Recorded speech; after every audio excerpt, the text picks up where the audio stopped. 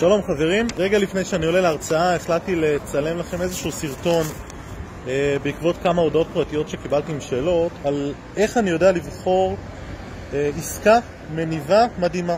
זו שאלה שנשאלתי, אז אה, לדעתי יש שבעה כללים עיקריים שבהם אה, צריך, שאותם צריך לבדוק כשבוחנים עסקה מניבה, לדעת אם היא טובה או לא כבר מההתחלה. אם כל השבעה מתקיימים, העסקה פצצה. קודם כל, הכלל הראשון, תזרים חיובי.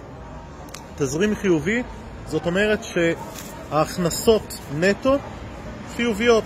אחרי שאני מחזיר את העלויות, אחרי שאני מחזיר את המימון, אחרי דמי הניהול, אחרי התיקונים, אחרי הכל הכל הכל, חייבים שהתזרים יהיה חיובי.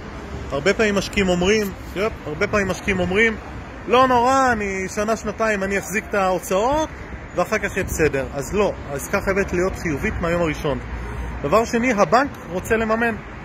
אם אתם תיגשו לבנק ותרצו מימון, האם הבנק יתחיל לעשות פרצופים, להעלות אה, ריביות מאוד גבוהות, הוא יהיה מוכן לממן? זאת שאלה מאוד חשובה. כי אם לבנק העסקה מספיק טובה, היא טובה גם לכם.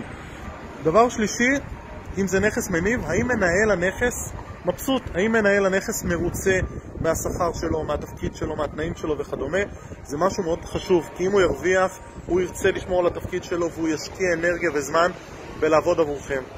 כלל רביעי, מה הביקוש באזור? האם זה אזור מבוקש? האם זה אזור שאתם תקבלו שיחות טלפון אה, אה, למכירה גם אם אתם לא מפרסמים את הנכס? האם זה אזור שרוב העסקאות שם הם off market? זאת אומרת יש ביקוש מאוד גדול. תנאי חמישי, מה מצב האבטלה באזור הזה? מה שיעור התעסוקה בעיר? האם שיעור התעסוקה במגמה חיובית משנה לשנה? יש יותר ויותר מועסקים? האם זה קבוע מספר שנים? צריך לבדוק את ה-job growth וכל הסטטיסטיקות, מה המצב בשלוש שנים האחרונות, ואם יש צמיחה זה מדהים. אם יש יציבות, לא רע. אם יש ירידה, עדיף לא להיכנס, כי זה אומר מה יקרה עם הסוחרים שלכם.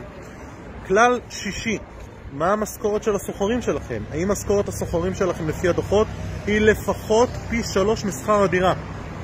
אם שכר הדירה שלכם הוא אלף דולר בחודש, אתם חייבים שהשכר, שהמשכורת נטו של הסוחרים שלכם תהיה לפחות 3,000 דולר בחודש. זה כלל מאוד מהותי, זה מראה על, על כוח הקנייה ועל כוח התשלומים שלהם. והכלל האחרון, מה המיקום? האם המיקום מצוין? לא מה הסוחרים חושבים, אלא אם אתם שואלים אנשים אחרים שגרים בעיר הזאת על האזור, על הכתובת, האם הם יודעים בדיוק על איזה שכונה אתם מדברים? אם כולם יודעים איזה שכונה זאת, זה יכול להיות או טוב מאוד או רע. אבל אם תושבים אחרים בעיר ומתווכים וגופים שפועלים בעיר או בערים הקרובות לעיר שבה אתם פועלים מכירים את השכונה הזאת, זה אומר משהו על השכונה, היא מוכרת. כמו שכל בן אדם תשאלו על שכונת רמת אביב לצורך העניין בתל אביב. כולם יודעים שרמת אביב, שכונה יציבה, מבוססת, עשירון עליון, אבל אם תשאלו אה, אה, תושבים על קריית שרת לצורך העניין, לא, לא תמיד כולם ידעו איפה זה קריית שרת. חשוב לקחת בחשבון האם השכונה שבה אתם פועלים מוכרת ונחשבת. אם כל שבעת התנאים האלה מתקיימים, כנראה שהעסקה תהיה טובה.